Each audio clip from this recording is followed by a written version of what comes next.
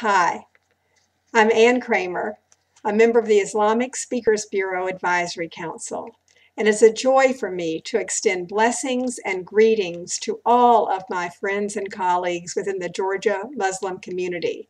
During this Ramadan, I hope that each of you is able to take time to reflect on your faith and your family and the blessings and the purpose within your life.